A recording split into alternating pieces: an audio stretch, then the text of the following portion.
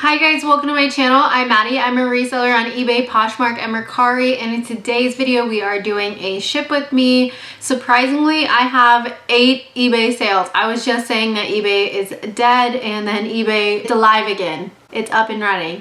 Now, to be frank, none of those sales are anything spectacular. I am a bulk bread and butter reseller, so just keep your expectations realistic. I have one Poshmark sale. I was just saying that Poshmark was doing good and now Poshmark's plummeting. Isn't that weird how it works? Like seriously, do these apps like talk to each other like I'm gonna be really good this week, you be really good this week, but like never can they overlap for me at least. And then surprisingly, we have a pinch hitter in here. We have someone in here who never comes in and that would be Curtsy. If you guys are unfamiliar with the Curtsy app, I would definitely familiarize yourself with it. I can definitely make a video about Curtsy if you guys would like, but honestly, it's super, super basic. Basically, you can go to Curtsy's app and it will sync with your Poshmark closet. You don't have to put in your Poshmark password or anything like that. It will upload all of your Poshmark listings. You don't need a third-party app like Vendoo or List Perfectly or Curtsy. And then as your items sell on Poshmark, they also are deleted off of Curtsy automatically. Basically, it's just like completely synced with Poshmark. It normally takes about 24 hours to update. And it is literally the app where you leave it and then whatever sells sells. You don't have to share things. You don't really have to interact with the community. So in that aspect it's really good but it is a smaller community. So i have been on curtsy since the end of january and i've only made three sales. But you know what? They come out of nowhere. I get a text alert whenever I make a sale on Curtsy and I'm like, what number is this? And then I look at it and it's like, you've made a sale on Curtsy to blah, blah, blah. And I'm like, okay, cool. So the first item that we are going to ship is actually going to be our Curtsy item. This item sold for $32. This is a J. Crew dress. This is a new-ish J. Crew tag. This is a size extra small. It's got this ruffled detail all throughout. It's tiered and it's gonna hit at a midi length. I know a lot of people don't like picking up J. Crew, but I knew that this would do well because it's a midi length, it's a neutral, and I just had a good feeling about it. So I did get this for 99 cents. So I did make a pretty good profit on this. The culture on Curtsy, I'm getting some tissue paper here to wrap this up with. The culture on Curtsy is that you do offer free shipping. So this is a lighter weight item. So free shipping's not a big deal. I think my earnings were $23 even after the shipping label. You can buy the shipping label on Curtsy, which is what I did. And it's just a very user-friendly, very easy app to use. Like I said, really the only downside is that not a lot of people are on there. But everyone's complaining about Poshmark and how it's gone downhill, so maybe everyone can eventually flock over to Curtsy. Now it is all wrapped up in our tissue paper. It looks good. I am going to have to use my own mailer here. I cannot use the United States postal mailer, so I'm going to use an eBay mailer. This is what I have. And honestly, I say this in every video, I have never in my life gotten a complaint from someone on like Mercari or Poshmark for using eBay mailers and eBay tape. No one's ever confused. I think they're just so happy when they open up their item that it is as described that they don't really care about the packaging material. On the bottom of the Curtsy label, it will even say Curtsy so really easy to remember. I did have to screenshot the Curtsy label after I got it on their website to print it out with my Dymo printer, which is how I have to utilize Mercari's printing as well because it doesn't like automatically upload. So I screenshot it, cropped the label how I wanted it, and then did it that way. Moving on to my one Poshmark sale. I did have one sale on Poshmark. It was a 99 cent fine. This is by The Gap. These are a high-rise skinny camo pair of jeans. They've got like the cargo pockets on the side. And I got these, like I said, for just 99 cents. Gap is not something I would pay up for except maybe like a blazer or maybe a cashmere sweater. These only ended up selling for $12, but I did get these in January, so it was a relatively quick flip, which is what I like. I am going to put this in my favorite free shipping envelope. This is the padded flat rate envelope that you can order online. I do not know what is going on, but my eBay store is on fire right now. I just got on to print out the labels and I saw I had an offer for $14 on this Draper James dress and I accepted it. So I'm not going to ship that out on camera because I do need to wait for the person to put in their payment. We know how eBay is. Sometimes people do not actually pay even though they sent an offer. That happened to me earlier this week is someone sent me an offer on a Banana Republic shirt. It was like a $10 offer, no big deal. I accepted the offer and then literally less than 30 minutes later they sent in a cancellation request because they said they accidentally ordered the item. Not a big deal, things like that. It's like literally just wipe it away, get over it all is good. For eBay, I do need a shipping scale. So this is just like a food scale that I have. You just need something that can tell you how much your item weighs when it is all packaged up. I'm going to also use tissue paper, same as how I did for the other items.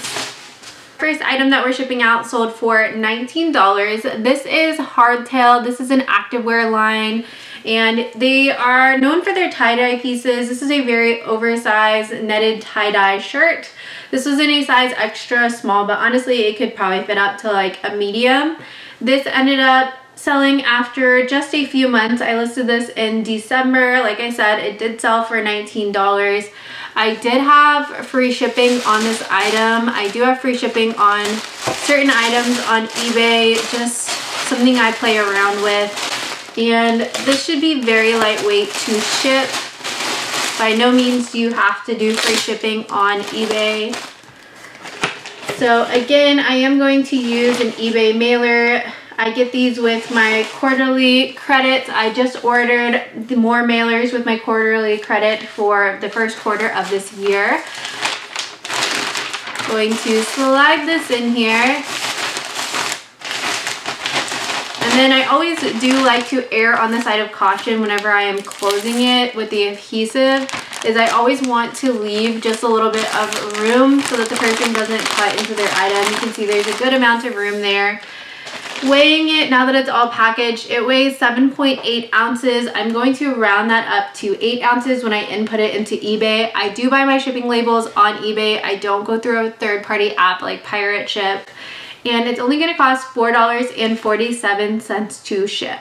The next item to sell on eBay is a shirt dress. This is by the brand Roberta Roller Rabbit. This is an old tag. This is a brand that can be sold at Anthropologie. The new tag just says Roller Rabbit and it's more of like a bubbly print than that cursive. I listed this in February and it sold really quickly for $17. This piece was not one of the better roller rabbit pieces. If you can find like a matching set or a maxi dress, you can get like upwards of $50, but this was a pretty see-through, non-substantial piece, so I felt okay with $17. The buyer did pay for shipping on this, and it should be pretty lightweight to ship.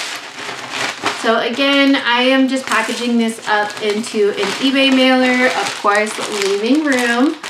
This weighs 5.1 ounces, going to put it in as 6 ounces, and it is going to go USPS Ground Advantage. It costs $4.55 to ship, and I charged the buyer $5.75, so I did make just a little bit off of their shipping.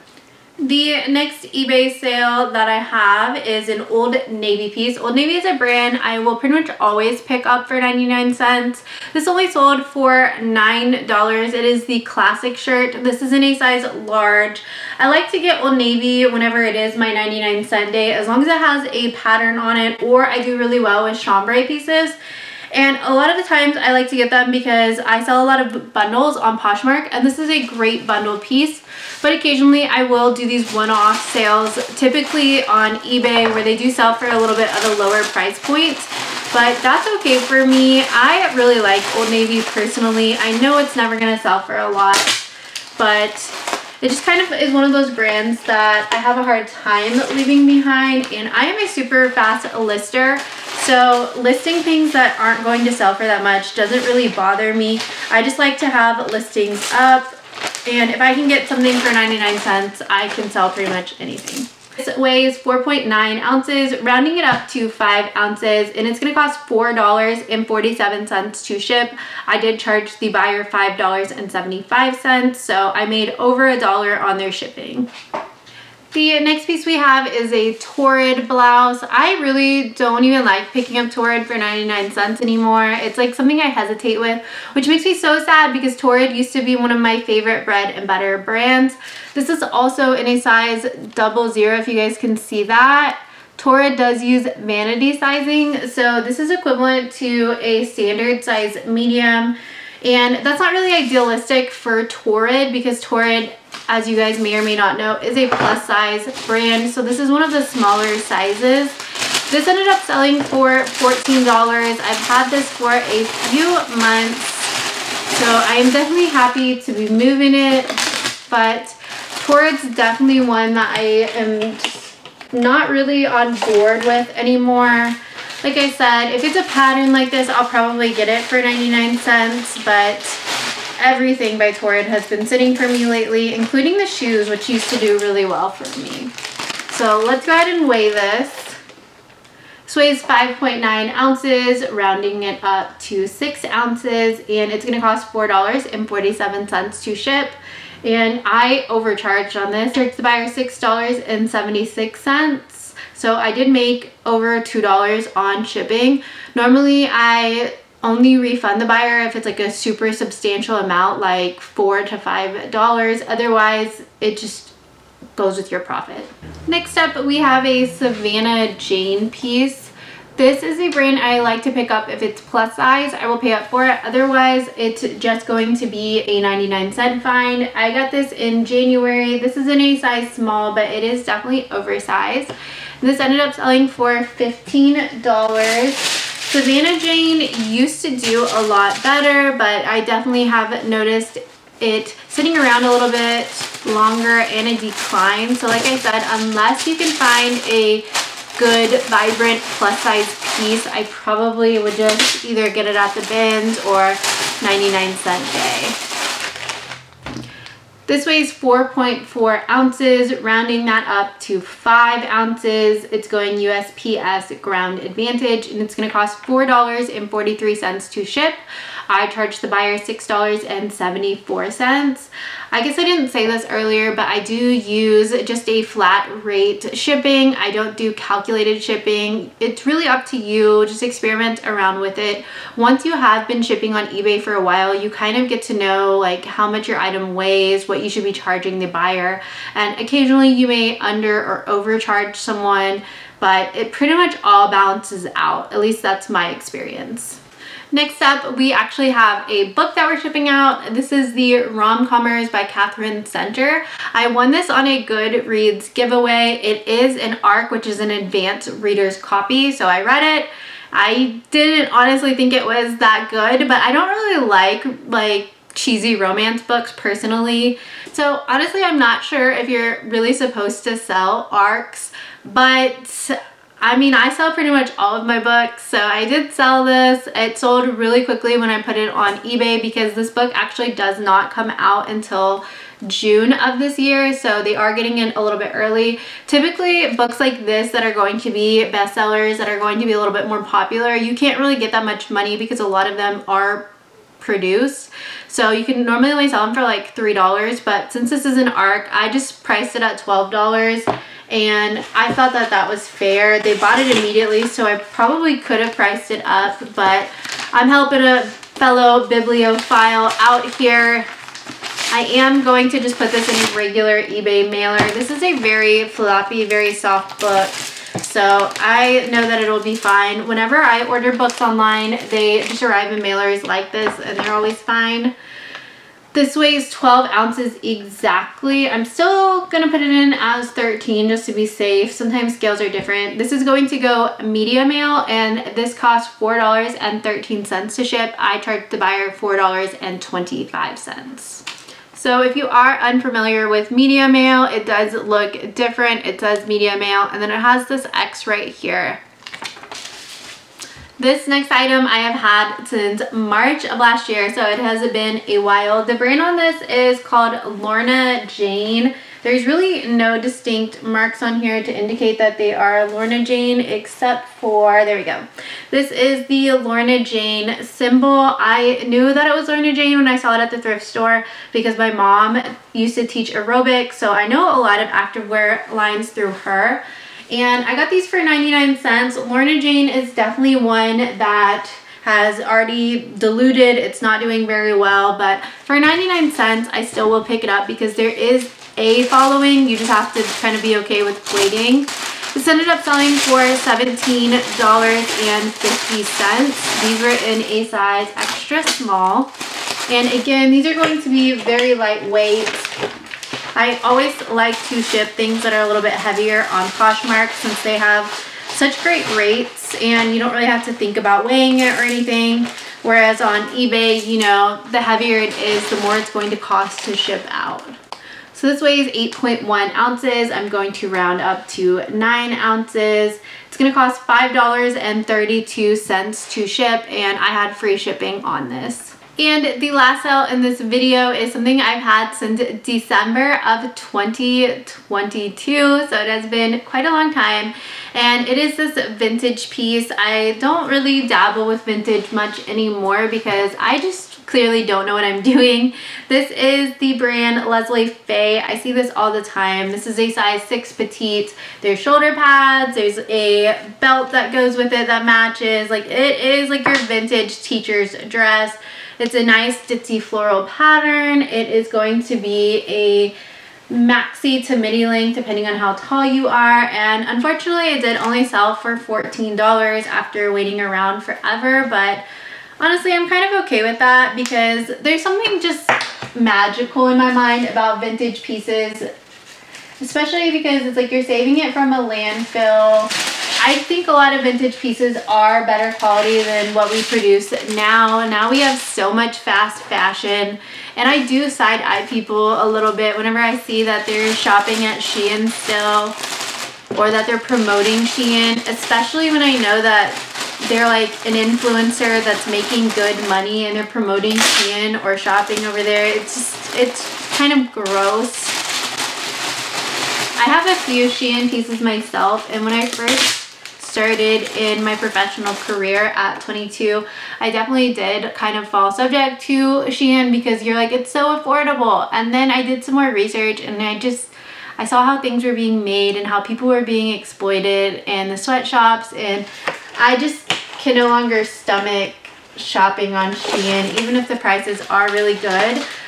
Plus, just from like a sustainability standpoint, like you wear it once, you wash it, and then I would say like 90% of the time the clothes either shrink or they fall apart or it's just not very good quality.